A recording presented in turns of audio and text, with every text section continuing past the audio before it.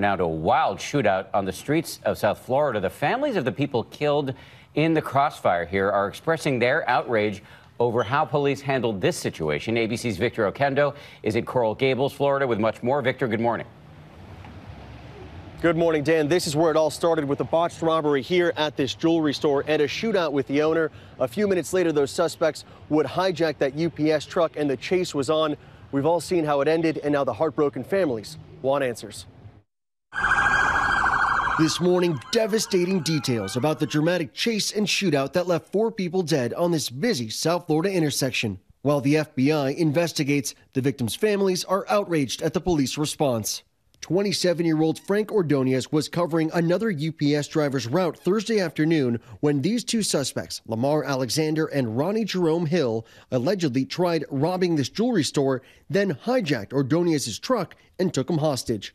They drove more than 20 miles up the Florida Turnpike and Interstate 75 and then local streets. The suspects firing back at an armada of police before finally getting stuck in traffic in Miramar. At least 13 officers opening fire. In the end, four people were dead. The two suspects, 70 year old Richard Cutshaw, who was in his car nearby, survived by his 99 year old mother, as well as five brothers and sisters, and Ordonez, who leaves behind two young daughters. What does the family want? Justice. Ordonez's stepfather believes officers mishandled the situation and are responsible for his death. He was murdered. He was murdered. He was murdered. What else can you call it? It's unclear if the two were killed by the suspects or by police fire. The Miami Dade police director offering condolences to the families and promising a full investigation. The people responsible for this action, for this result, are the two gentlemen that decided to enter that store and commit this violent crime.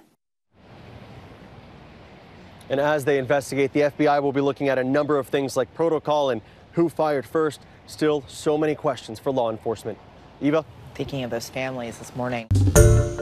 Hi, everyone. George Stephanopoulos here. Thanks for checking out the ABC News YouTube channel. If you'd like to get more videos, show highlights, and watch live event coverage, click on the right over here to subscribe to our channel. And don't forget to download the ABC News app for breaking news alerts. Thanks for watching.